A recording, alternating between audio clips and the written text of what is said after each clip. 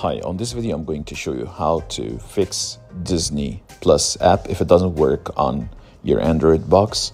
Uh, the same concept applies for Netflix or Amazon Prime, for example. Okay, so first make sure your Astrill VPN is on if you are based in China. You go to apps, then APK Pure.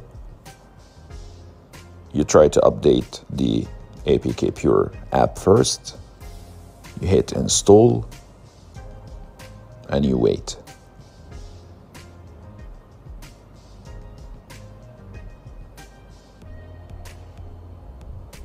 Alright, after that you hit done, then you're back to the app APK Pure.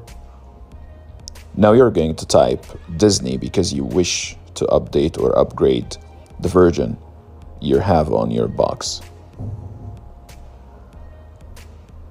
When you type Disney and you search for the new version available, you hit update.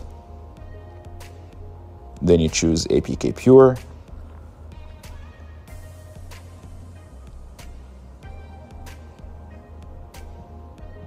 But unfortunately, you cannot find the version you wish to like install. So the best thing to do right now is this. Go to the home page of your TV box, go to settings, then apps. Find Disney Plus app and uninstall it. Delete it from the box. You hit OK.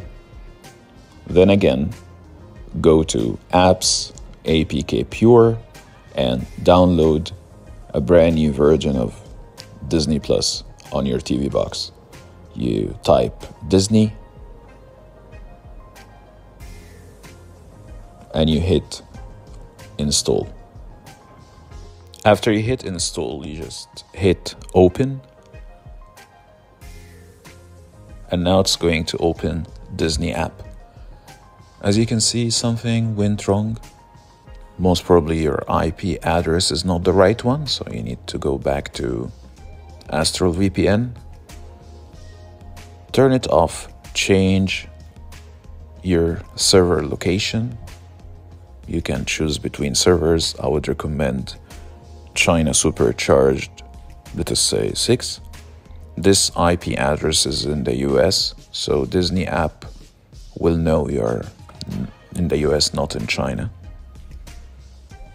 Turn on the app, go to the home page of the TV box and hit this brush icon. It's like a refreshment for the box. You hit it many times, not just once. Go to Disney app once more.